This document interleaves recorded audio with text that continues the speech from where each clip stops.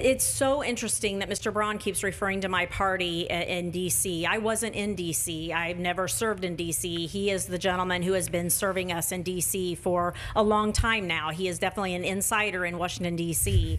And what did you get accomplished? I mean, obviously, you voted against a very, very popular bipartisan bill. And a lot of people, the perception here from Hoosiers is you were playing politics. And, I, and that's unfortunate because we need solutions. Illegal immigration is a huge topic that we need solved at the federal level. Now, obviously, there are ways to do that, and as the governor, I will certainly cooperate with the federal level, um, regardless of who the president of the United States is, because I want Hoosiers to be safe, and we also need to address the issue. But as far as legal immigration goes, we embrace that. There are 6% of our population that are here in the workforce, bringing over $4 billion into our economy. Many of our communities are dependent upon immigrants who have come here legally and being very, very productive citizens. But as a responsible governor, I will make sure we get resources where they need to go. Mr. Braun, same question to you here. How will you address the influx of legal migrants in some of our communities and resources that may need to come from the state? 60 seconds. So legal immigration is something something that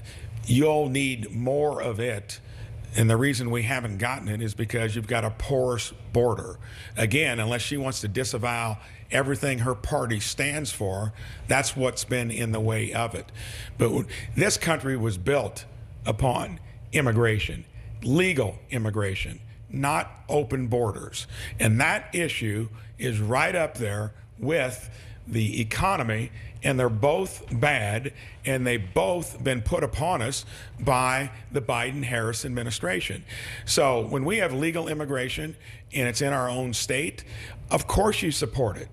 That's what we need more of. What we need less of is what uh, my opponent and her party have given us in the first place, which is open doors, and that was working well before Biden and Harris got elected.